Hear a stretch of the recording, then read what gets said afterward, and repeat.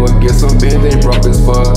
I slammed the world for my slutty niggas talking about NASCAR, race car, NASCAR, race car, NASCAR, race car, NASCAR, race car. I be tripping every day for my life, I get high. One time, nigga, you might be the hating ass nigga. I don't give a fuck, though, clown ass nigga. Talk about from the hood circus. That nigga talk about you would get that 100k on the bounty.